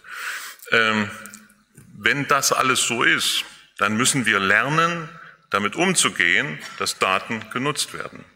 Dann können wir nicht nur einfach sagen, ja, davon profitiere ich, indem ich mal gucke, wie das Wetter wird, sondern müssen wir alle lernen, dass künftig Entscheidungen getroffen werden auf der Basis von Wahrscheinlichkeitsberechnungen. Wie wahrscheinlich ist es anhand der vorhandenen Daten, dass ein Ereignis, ein Zustand, eine Bewegung eintritt? Äh, das ist eine andere Art mit der Umgebung umzugehen, als wenn man sich darauf verlassen kann, dass der andere eine begründete äh, Reaktion auf mein Verhalten, äh, die aus Erfahrung stammt und die weniger mit Wahrscheinlichkeit zu tun hat, betreibt. So, damit sind wir da durch. Ähm, ich erspare Ihnen jetzt äh, nochmal die Rückkehr zu Globalisierung. Äh, das ist ein Vorgang, der, von dem ich nur deutlich machen will, dass er natürlich weitergeht aber dass Globalisierung nicht als homogener Prozess existiert, sondern dass Globalisierung aus einer Vielzahl von Globalisierungsprojekten besteht. Das ist das, was wir hier in Leipzig gerade intensiver erforschen und versuchen, Bücher zu schreiben, wie das französische Globalisierungsprojekt aussieht, wie das chinesische aussieht, wie das indische aussieht, wie das Globalisierungsprojekt der Autoindustrie aussieht, wie das Globalisierungsprojekt von Fridays for Future aussieht. Also das nur als äh, sagen, den Shift, den wir in dieser Globalisierungsideologie betreiben wollen. Ähm, das habe ich jetzt auch schon ein paar Mal gesagt. Ich gucke ein bisschen auf die Uhr und will hier gleich zum Schluss kommen. Äh, Sie müssen keine Angst haben. Wir können Ihnen als Historiker die Blaupausen liefern, wie man Multikrisen bewältigt, denn es gab schon viele. Eine der schönsten ist die um 1800 äh, und äh, ich könnte jetzt so vor zwei Stunden Ihnen über diese Revolutionen äh, erzählen und über die Eröffnung des fossilen Zeitalters. Das will ich alles einsparen, aber glauben Sie mir, es ist nicht die erste Multikrise und wir können aus der politischen Bewältigung dieser Multikrisen der Vergangenheit wahrscheinlich relativ viel für die Gegenwart lernen. So, und das ist dann äh, sagen die Takeaway Message. Ähm, was müssen wir tun? Erstens, wir müssen uns überhaupt bewusst sein, wie die Krisen zusammenhängen. Wir dürfen darüber nicht in Panik verfallen, dass es sie gibt, sondern wir müssen sehen, wie sie zusammenhängen. Und ich lade immer wieder zur Gelassenheit ein, äh, denn äh, das kann überwältigend sein, erstmal verschiedene Krisendimensionen zu betrachten. Äh, aber äh, die hängen alle miteinander zusammen, die bestimmen alle unsere Zukunft. Äh, die haben nichts, wo das Wegwünschen irgendwie helfen würde. Zweitens, das greift jetzt nochmal die Definition der einzelnen Krisendimensionen auf, wir müssen diese verschiedenen Lesefähigkeiten entwickeln. Das heißt, wir brauchen einen Umbau unserer Bildungsinhalte. Ja, ich plädiere nicht für ein neues Schulfach Multikrise bewältigen. Gestern habe ich gelesen, so hat jetzt jemand gefordert, ein Schulfach Angstbewältigung. Äh, habe ich mir schon wieder vorgestellt, wie die Mathematiker und die Sportlehrer Angst kriegen, dass die Angstbewältigung ihnen diese eine Stunde wegnimmt, äh, die sie doch dringend brauchen, äh, um irgendwas zu unterrichten. Also das ist nicht das Anliegen, sondern das Anliegen besteht darin, dass wir den gesamten Schulinhalt überprüfen müssen, ob er tauglich ist für diese Krisenbewältigung und ob er die entsprechenden Lesefähigkeiten hervorbringt. Wenn der Geografieunterricht im Wesentlichen dazu beiträgt, dass die Leute weiter glauben, in territorialisierten Nationalstaaten zu leben, dann muss man ihn möglicherweise verändern.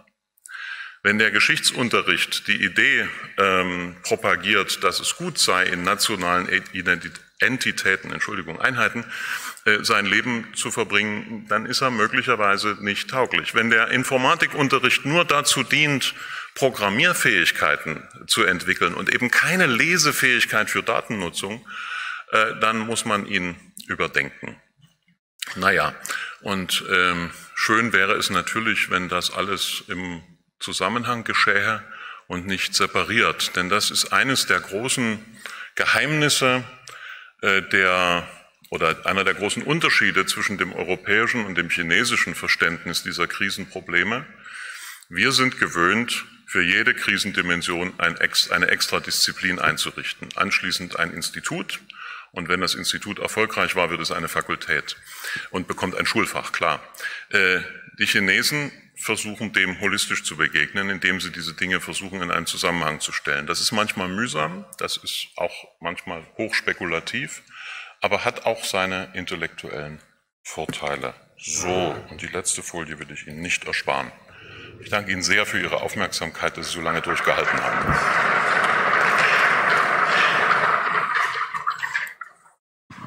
Ja, herzlichen Dank für den erhellenden Vortrag. Diese Begriffsdefinitionen, die Sie da gegeben haben, fand ich jetzt ja sehr hilfreich, um mal ein paar Sachen besser zu verstehen. Jetzt gibt es Möglichkeiten für Sie, Fragen zu stellen. Ich habe eine Frage und zwar, Sie hatten gesagt, es braucht neue Formen oder neue Ideen und Narrative für einen gesellschaftlichen Zusammenhalt statt zum Beispiel der Berufung auf Nationalstaaten. Was wären für Beispiele, die Ihnen da irgendwie einfallen würden? Naja, ganz, also ich greife jetzt mal auf das Thema des letzten Festivals äh, zurück. Da ging es um Klimasolidaritäten. Ähm, wir müssen doch offenkundig anerkennen, das zeigt auch die naturwissenschaftliche Forschung, äh, dass vom selben Phänomen äh, Menschen in ganz unterschiedlichen Teilen der Welt betroffen sind und äh, dass diese Betroffenheit möglicherweise zu einer gemeinsamen Handlungsbereitschaft führt. So ganz eklatant war das natürlich auf dem äh, Gipfel 2015, äh, wo sich mal die sagen, Vertreter der Länder, die demnächst unter die Wasserlinie kommen, zusammengeschlossen haben. Ja, das ist ein besonders evidenter Fall, aber natürlich äh, haben sie äh, auch äh, sagen, den Zusammenhang zwischen äh, den Gebieten, in denen deutsche Unternehmen äh, produzieren und zum Beispiel Wasser verbrauchen, äh, so dass dort kein Trinkwasser mehr vorhanden ist. Mit denen haben wir ja offenkundig eine Art Solidargemeinschaft, wenn wir uns das T-Shirt hier überstreifen, in dem das Wasser dann drin steckt. Äh, diese Art von Solidaritäten äh, nicht ersetzen nicht, aber müssen parallel zu den äh, Vergesellschaftungsformen, die wir vor Ort kennen, mitgedacht werden. Anderes äh, Beispiel des gesellschaftlichen Zusammenhalts ist sicher entlang von Familienlinien. Das ist etwas ziemlich Selbstverständliches ähm, für viele. Aber was bedeutet das eigentlich? Ein Kollege von mir äh, aus Afrika äh, sagte letztens, na ja, er hat drei Töchter, einen Sohn. Die drei Töchter leben jetzt auf drei verschiedenen Kontinenten. Der Sohn ist ein bisschen schwieriger mit dem Schulabschluss, äh, deswegen ist er noch zu Hause, aber der wird demnächst auch weg sein. Er koordiniert also aus einer afrikanischen Stadt äh, quasi das Sozialverhalten von Menschen in völlig unterschiedlichen Rechtssystemen, in völlig unterschiedlichen religiösen Kontexten. Die sind verheiratet jeweils mit Menschen aus diesen Regionen und so weiter. Das heißt, Zusammenhalt in der Familie ist dann offenkundig anders zu organisieren, als wenn alle im selben Haus wohnen. Äh, ich will auch gleich erklären, wofür der diesen Zusammenhalt braucht. Ähm, eine Tante von ihm war gestorben. Und selbstverständlich wurde die Tote zu ihm getragen. Denn seine Kinder leben ja in reichen Gegenden. Demzufolge ist er verantwortlich für die Beerdigung. Das heißt, seine Familie hat auch sofort erkannt, dass er sagen, in einer besonderen Situation der Solidaritätskonstruktion ist. Ähm, und damit wird man sich Stück für Stück ähm, arrangieren müssen. Ich fand es sehr eigentümlich, als vor kurzem hier die Idee aufkam, man wolle die Rücküberweisungen äh, von Menschen, die hierher gekommen sind und die hier arbeiten, äh, geringer halten, unterbinden oder was auch immer. Also mal abgesehen davon, dass ich nicht glaube, dass man der Finanzindustrie wirklich auf die Schliche kommt. Äh, das ist nur eine Frage, wie viel Gebühren die zahlen müssen. Aber der Punkt ist doch, das sind alles transnationale und transregionale Familienbeziehungen, deren Funktionieren wir einrechnen müssen. Sie sind Teil der Motivation, hier zu arbeiten. Sie sind Teil der Motivation oder sind Teil der Bilanz, die ich bei meinem Kollegen beobachte, zwischen dem, was ich hier verbrauche und dem, was ich überweise, zu unterscheiden. Also das sind Formen des gesellschaftlichen Zusammenhalts, die wir in unsere Überlegungen einbeziehen müssen. Ähm, und ich könnte jetzt endlos so weitergehen. Äh, mir ist schon klar, dass die, der gesellschaftliche Zusammenhalt der Menschen, die an einem Ort oder in einem Bundesland leben, weiter bedeutsam bleibt. Ja? Aber was mache ich denn in Aue in der, äh, im Krankenhaus, in dem am Abend 50 Prozent der Belegschaft in den Bus steigen und über die deutsch-tschechische Grenze verschwinden? Weil sie nämlich von dort äh, kommen. Das heißt, dann muss ich äh, die Lebensverhältnisse an dem Ort, wo diese Menschen abends wieder hingehen, natürlich in Rechnung stellen, wenn ich dafür sorgen will, dass dieses Krankenhaus weiter funktioniert. Da kann ich nicht einfach nur über die reden, äh, die in diesem Krankenhaus behandelt werden, sondern ich muss mir Gedanken machen, wie ist die Straße beschaffen, dass die schnell nach Hause kommen, damit die gut ausgeschlafen am nächsten Morgen wieder arbeiten können. Das sind Formen des gesellschaftlichen Zusammenhalts, die wir bisher wenig einplanen. Und ich gebe diese Beispiele alle nur, um zu zeigen, das ist in unserem eigenen Interesse. Das ist jetzt nichts, was wir aus schierem Altruismus machen, damit es die Menschen schön haben oder so, ja, sondern es ist etwas, was zu unserer sozialen Realität längst dazugehört, dass unsere Krankenhäuser oder Pflegeheime abhängig sind davon, dass Menschen diese Solidarstrukturen jenseits des Territoriums, äh, also des politischen Territoriums ähm, äh, haben. Und darum kümmern sich ja auch ganz viele Menschen hier in diesem Land. Es ist ja nicht so, dass ich jetzt der Erste bin, der über diese Phänomene redet. Ja? Aber ich habe nicht das Gefühl, dass es schon Lernstoff in der Schule ist, um sich darauf einzurichten, dass das mehr wird, bedeutsamer wird und äh, von uns mitbedacht werden muss bei der Gestaltung der Zukunft. Sie sprachen es gerade an, Sie haben nicht den Eindruck, dass das Lernstoff in der Schule wird. Äh, Sie hatten das vorhin noch auf einer anderen Folie stehen, äh, dass wir auch in der Schule die, die jungen Menschen darauf vorbereiten müssen, mit diesen vielfachen Krisen umgehen zu können. Jetzt sind wir hier ja im Tempel der Wissenschaft, formuliert das mal etwas in Anführungszeichen. Wie findet denn nun der Transfer statt hier von Ihnen aus von der Universität in die Schule oder zumindest in die, die die Lehrpläne machen, damit wir den jungen Menschen die ja die Zukunft gestalten sollen, auf diese neue Zukunft vorbereiten können?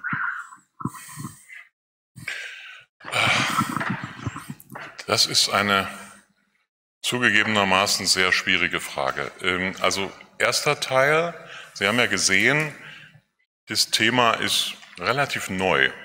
Also was nach der Globalisierung kommt, ist keine Frage, die wir seit 30 Jahren erforschen, und wo es jetzt schon das Lehrbuch dazu gibt. Das heißt, in allererster Linie ist unsere Aufgabe erstmal solide Grundlagenforschung zu betreiben und etwas bereitzustellen. Das befriedigt sie nicht, das ist mir klar, weil das nicht der Transfer ist, aber es gibt mir in dieser Gesellschaft zu schnell den Ruf nach Transfer, bevor das Produkt überhaupt da ist.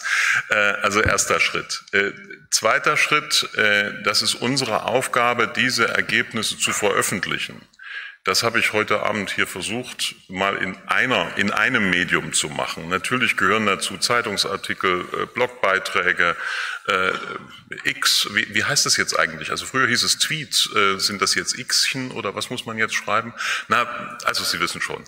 Ähm, und äh, das nächste sind dann Lehrbücher, das nächste sind Einflüsse auf die Ausbildung von Lehrkräften. Also wir sind ja die größte Lehrkräfte ausbildende Anstalt in Sachsen. Ähm, und da hofft man, dass diese Themen äh, Stück für Stück dort reinkommen. Ähm, man muss sich aber auch keine Illusionen machen über die Beharrungskraft. Also nichts ist doch hässlicher, als wenn ich meine Schulstunde für übermorgen verändern muss, statt die vom vorigen Jahr zu nehmen. Also, ich will jetzt keine Lehrerschelte betreiben, verstehen Sie mich richtig. Ich muss ja auch manchmal mit meiner Zeit haushalten und erzähle den Studis vielleicht was vom vorigen Jahr. Aber das ist dann die nächste Schicht, durch die wir durch müssen. Und Lehrbücher, also Schullehrbücher schreiben, äh, ist heute sowieso überschätzt. Ich glaube, das ist, ähm, in meiner Generation war das Schulbuch noch die höchste Autorität. Äh, das hat sich verändert. Äh, Im Klassenraum ist es eher der Lehrer, die Lehrerin als das Lehrbuch. Naja, und dann hoffe ich immer noch, dass es uns gelingt, die Kids zur, zum Konsum dessen, was wir produzieren, zu verleiten. Ja, ähm, also in, mit so einem Festival. Das ist ja unser Transferformat. Da versuchen wir, Leute mit dem Film anzulocken und hinterher in der Diskussion ganz schreckliche Dinge weiter zu erzählen, die in dem Film vielleicht gar nicht vorkamen. Also verrate Ihnen jetzt den Transfertrick, den wir da anwenden. Ne? So. Äh, aber das ist hoch unbefriedigend. Wir sitzen den ganzen Tag in der Uni und sagen, wir würden gerne mehr machen, aber wir wissen auch nicht so richtig, wie. Also mehr wirken, ja, nicht mehr machen, sondern mehr wirken. Und wie wir das ganz genau machen sollen, da sind wir auch äh, sagen auf Ihre Nachfrage ähm, angewiesen. Und ich bin ja total begeistert, was Sie sich alles abends hier antun. Äh, ne? Also Sie hätten ja auch irgendwie einen schönen Abend verleben können. Und das ist ja wieder ermutigend. Sorry, ja, ja. Ich finde das Thema hochspannend.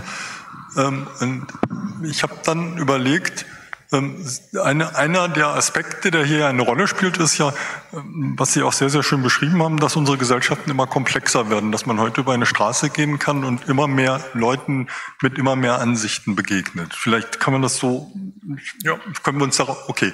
Dann ist mein Eindruck, dass es das ja eigentlich schon sehr, sehr häufig und sehr, sehr lange in Europa gegeben hat. Zum Beispiel auf dem Balkan war es sehr, sehr lange so, dass man, dass die Leute sehr, sehr gut und sehr, sehr zufrieden in, gerade in so einem bunten Umfeld gelebt haben und dass einerseits die eine sehr, sehr hohe Kompetenz hatten, auch mit unterschiedlichen Sprachen umzugehen, mit unterschiedlichen kulturellem Hintergrund aber dass es trotzdem irgendwo so war, ähm, dass, mit, dass trotz dieser Kompetenz, die diese Leute ohne Frage hatten, und ich kenne viele Leute, die halt eben den Balkan vor der großen Balkankrise kennen, ähm, dass, dass trotzdem halt die, diese Gesellschaft doch sehr, sehr anfällig geworden ist und dass das irgendwann mal mit einem großen Knall explodiert ist.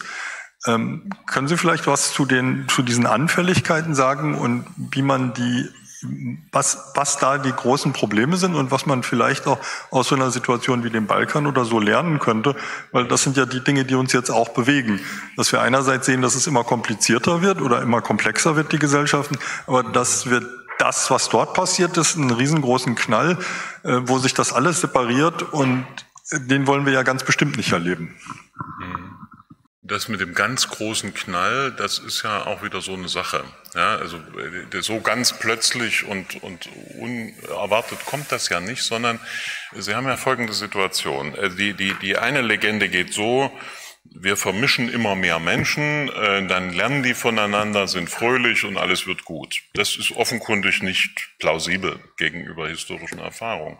Liegt es jetzt am Vermischen oder woran liegt es? Und wenn Sie sich anschauen, äh, in die, also ich nehme jetzt mal, wenn Sie großen Knall sagen, meinen Sie eventuell die Jugoslawienkriege.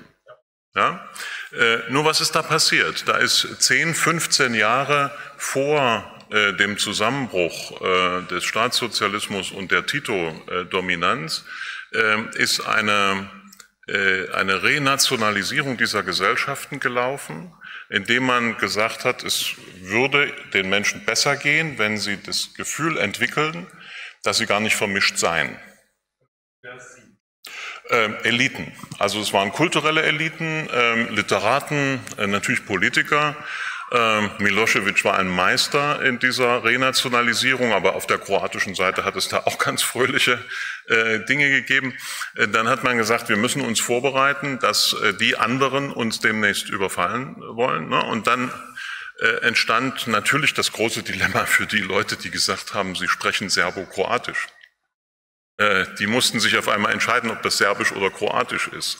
Das heißt, wir haben es immer mit der Erfindung von separierten Identitäten zu tun. Das meinte ich vorhin mit den radikalisierten Identitätspolitiken. Und die beobachten wir ja heute in unserer Gesellschaft auch, äh, dass immer mehr Menschen glauben, es würde ihnen besser gehen, wenn man sich von den anderen abgrenzt. Und darüber ist man durchaus in der Lage zu vergessen, wie vermischt man selber ist. Ja, also meine, meine Lieblingsanekdote äh, ist äh, der äh, Leipziger Landeshistoriker Rudolf Kötschke, der sich wirklich gut auskannte in der Geschichte der Sachsen. Und der bekam eines Tages einen Brief aus Berlin 1936. Er möge doch bitte ein Gutachten schreiben, dass hier nur Germanen gesiedelt haben und dass von einem slawischen Einfluss keine Rede sein könnte. Das hatte nämlich in Westdeutschland funktioniert. In Bonn gab es ein vergleichbares Institut und das hatte tatsächlich diese Expertise geliefert, äh, dass dort nur Germanen gelebt haben und die Welschen ähm, waren da weit weg. Und Kötschke antwortet, also das sei eine ehrenvolle Aufgabe äh, und er würde dieser Bitte sehr gerne nachkommen, aber leider, leider, leider äh, sei schon an, der, an den Ortsnamen hierzulande ablesbar, äh, dass äh, die Menschen in Schaschelwitz ganz offenkundig keine germanischen Ursprünge haben. Das heißt, er hat das Naziregime noch einigermaßen gerettet vor genau diesem Mythos, äh, hier gibt es keine Durchmischung und auf die können wir dann diese separierende, ethnisierende Politik gründen. Aber natürlich gelingt das überall, wo Sie hingucken. Ja, wir sind doch, wir müssen doch nur die Zeitung aufschlagen oder wie machen wir heute durch die Zeitung scrollen, ne? Ähm, dass man feststellt, ah, da ist es wieder jemandem gelungen zu sagen, wir sind ganz anders als die da. Und demzufolge müssen wir jetzt zu den Waffen greifen, müssen wir uns abgrenzen, müssen wir aufpassen, dass wir äh, die von uns wegschieben. Und das ist eine, äh, das meine ich mit, mit Literacy. Also Sie können diese Literacy auch so umdrehen, dass die Leute lesen, sie gehören zu separierten Einheiten äh, sind von völlig unterschiedlicher Qualität. Ähm, und dann beginnt es ihnen Angst zu machen, wenn sie in der Straßenbahn neben jemandem sitzen sollen, der als fremd designiert ist. Und äh, insofern passiert da nichts auf natürliche Weise, sondern es passiert alles durch konkrete Aktionen von konkreten Menschen. Ja? Und denen muss man entgegentreten, würde ich jetzt sagen, wenn man den Knall verhindern will. Ja? Äh, man muss aber auch anerkennen, dass die Leute, das ist sozusagen immer meine zweite Botschaft, dass die Leute von diesen Auseinandersetzungen tatsächlich gestresst sind. Also ich kann das jetzt nicht noch durch Dramatisierung der Gegenposition äh, besonders plausibel machen, dann kann es sein, dass jemand durchdreht, weil er sagt, das ist mir zu viel. Die reden den ganzen Tag auf mich ein, was ich machen soll. Das ist so ein bisschen die, die gefährliche äh, Geschichte. So. Ähm, Erziehen Sie einfach alle Ihre lieben Verwandten zu Toleranz und der Feststellung, dass sie mindestens genetisch sowas von vermischt sind, dass es keinen Sinn macht, sich eine Separatidentität zuzulegen. Ich wollte nochmal zurückkommen auf Ihr, Ihren äh, Vortrag. Äh, was kommt nach der Globalisierung, ist ja das Thema des Vortrags gewesen. Und wenn ich es richtig verstanden habe, ähm, beantworten Sie diese Frage mit, ähm, nach der Globalisierung kommt die Globalisierung. Ja? Also ähm, sie gehen davon aus, dass man, dass es schon immer Globalisierung gab und immer Globalisierung geben wird. So. Ähm, sie hatten aber auch in Ihrem Vortrag ausgeführt, dass es eben viel Kritik, ähm, gesellschaftliche Kritik an der Globalisierung gibt. Und da fragt man sich ja, warum gibt es diese Kritik? Und äh, meines Erachtens liegt diese Kritik daran, hatten Sie auch angesprochen, dass diese Globalisierung mit äh, Neoliberalismus verbunden ist, das heißt ähm, mit fehlender Regulierung. Ja, also es ja. wird nicht äh, genügend reguliert und insoweit gleiten wir quasi in eine Gesellschaft ab, die unreguliert und man könnte fast schon sagen naturalistisch daherkommt. Ja, also das Recht des Stärkeren gilt etc. und so. Und ähm, darum äh, wird ja diese, dieser Begriff der Globalisierung auch kritisiert und meines Erachtens auch zu Recht. Ja. Ähm, und äh, dann hatten Sie noch äh, angeführt, diesen, oder haben Sie den Begriff der Multikrise eingeführt. Und ich finde, diese, dieser Begriff der Multikrise ähm, verwischt einiges. Ne? Also was ist Sinn und Zweck, äh, eine Krise als Multikrise zu verstehen? Ähm, hatten Sie auch schon, schon angedeutet, ähm, es ist alles komplex, äh, nicht zu erklären, können wir, können wir nichts machen. Ja, so. und, ähm, und ich finde, das ist ein, eine Art von, von Politikversagen und auch äh, von Versagen auch von wahrscheinlich auch Wissenschaftlern, einfach sich äh, diesen Problem nicht zu stellen, weil meines Erachtens ist ähm, Problembewusstsein und das Lösen von Problemen ein, ein Zeichen von, von Intelligenz. Und wenn Probleme äh, nur geschoben werden und nicht gelöst werden oder eine Lösung zugeführt werden, dann sind die auch ähm, meines Erachtens kritikwürdig. Also ich, ich kann Ihnen da nur zustimmen, aber ich möchte auf zwei Differenzierungen hinweisen, die ich versucht habe, in diesem Vortrag rüberzubringen. Erstens, das, was man in den 90er Jahren Globalisierung genannt hat und was Sie jetzt mit neoliberal und so weiter charakterisieren, ist nicht die Globalisierung sondern Globalisierung ist ein viel längerer historischer Prozess, der sich immer wieder verändert. Und der war nicht neoliberal im 15. Jahrhundert. Der war auch nicht neoliberal äh, als sozialistische Globalisierung äh, der 70er Jahre. Äh, also das ist die erste Differenzierung. Und ich glaube, dass wir heute in einem anderen Abschnitt der Globalisierung leben oder beginnen zu leben als in den 90er und 2000er und vielleicht Beginn der 2010er Jahre. Insofern glaube ich, dass diese Kritik, die an dieser früheren Auffassung oder an diesem früheren Modell von Globalisierung äh, geübt worden ist, inzwischen ziemlich ins Leere läuft. Ja, also sie ist politisch nicht mehr nützlich, äh, weil sie etwas kritisiert, was längst gar nicht mehr da ist. Ähm, wenn Sie sich die amerikanische Industriepolitik anschauen, dann ist sie das ganze Gegenteil von neoliberal ist in einem hohen Maße protektionistisch äh, und äh, sozusagen auf politische Gewinne äh, aus. Äh, und es, es, hilft überhaupt nichts, diese alte Kritik sozusagen ständig zu wiederholen. Das ist, das ist meine erste Differenzierung. Ja? Also einfach, Globalisierung ist ein ganz langer Prozess und bitte nicht verwechseln mit der Globalisierung, die in den 1990er Jahren beschrieben worden ist. Die zweite Differenzierung, die ich knapp nur angerissen habe, ist äh, die zwischen Globalisierung als einem historischen Gesamtprozess und Globalisierungsprojekten völlig unterschiedlicher Akteure. Und äh, ich will Ihnen jetzt nicht den Teil der Vorlesung nachliefern, den ich da ein bisschen übersprungen habe, aber es ist doch ganz klar, dass äh, der, das Globalisierungsprojekt der USA in den 1990er Jahren ein komplett anderes ist als das Chinas. Ja? Und äh, die, insofern komme ich dann auf Akteure und nicht auf Globalisierung als anonymen Akteur, der irgendwas Schlimmes macht. Und ich glaube, das hat zur Folge, dass wir uns bei der Kritik auf die Kritik von konkreten Globalisierungsprojekten stützen müssen. Ja, darauf müssen wir achten. Was dazu geführt hat, dass die Franzosen in Westafrika inzwischen keinen Fuß mehr auf die äh, Erde kriegen hat äh, zu tun mit einer massiven Kritik äh, von afrikanischer Seite an dem französischen Globalisierungsprojekt, insbesondere in dieser Region. Ja? Ähm, das ist aber ein völlig anderes, als es Deutschland hat. Das ist auch ein anderes, als es Russland hat, äh, um jetzt nicht zu sagen, da gibt's gut und schlecht äh, irgendwie äh, auf der einen oder anderen Seite, sondern offenkundig gibt es zu einem bestimmten Zeitpunkt erfolgreiche und weniger erfolgreiche Globalisierungsprojekte. Und wenn Sie sagen, ähm, die, die Globalisierung müsse so und so beschaffen sein, dann ist das Ihr intellektuelles Globalisierungsprojekt. Ja, ich vermute, Sie haben keine Armee hinter sich äh, und Sie haben keine Finanzmittel, um das äh, umzusetzen, aber Sie haben eine intellektuelle Kraft, sich eine bestimmte Globalisierung vorzustellen für die Sie eintreten, und Sie sind ja wahrscheinlich nicht der Einzige, der diese Vision hat, die unterscheidet sich aber von dem, was wahrscheinlich Herr Lavrov sich unter Globalisierung vorstellt. Und äh, was ist jetzt erfolgreich? Ist es erfolgreich, wenn jemand das tut, was ich mir wünsche? Oder ist es erfolgreich, wenn er, sie ihre Ziele durchsetzen? Das ist eine intellektuelle Frage, die wir uns stellen müssen. Aber die Globalisierung ist weder erfolgreich noch unerfolgreich.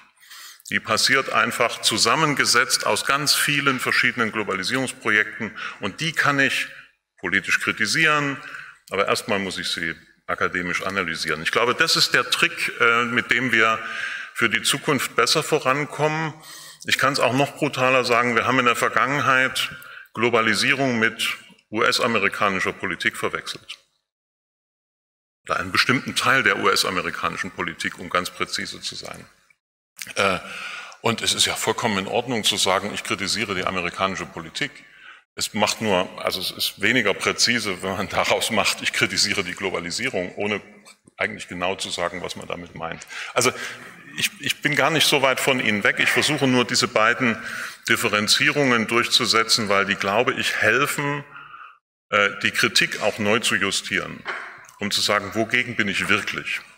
Ja, was, was irritiert mich massiv? Wo, wogegen, wofür bin ich? Denn zweifellos gibt es ja auch Globalisierungsprojekte, die dem einen oder anderen hier im Raum extrem sympathisch sind. Also die Klimaschutzbewegung ist möglicherweise nicht in gleicher Weise der Kritik äh, unterworfen äh, wie die Trumpsche Außenpolitik. Und das ist eben auch ein Globalisierungsprojekt. Das ist vielleicht nicht so mächtig, das hat nicht so viel Soldaten hinter sich, das hat nicht so viel Kapital hinter sich, aber es hat vielleicht eine große Zustimmung in weiten Teilen der Welt hinter sich. Und jetzt müssen wir gucken, wie entwickelt sich so eine transregionale, transnationale Bewegung? Äh, können die ihre Ziele klar formulieren? Sind die überzeugend? Schaffen die es, äh, sagen Wahlen auch zu beeinflussen und sich langsam durchzusetzen? Oder ist das etwas, was auch wieder an Stellenwert und Durchsetzungskraft verliert. Ich weiß, dass das irritiert immer die Leute, wenn ich mich auf so eine Position begebe, wo ich sage, ich beobachte das, ich schaue mir das an, wie erfolgreich die sind. Ich will die gar nicht normativ in erster Linie bewerten, sondern ich gucke mir an, wen gibt's da so alles auf der Welt, der die Welt auf seine Weise globalisieren will. Und dazu gehören wir natürlich als Universitäten auch. Und ich hoffe, Sie finden unser Globalisierungsprojekt sympathisch. Ja, ganz, ganz herzlichen Dank. Natürlich an Sie und auch an unser Auditorium und die Diskutanten.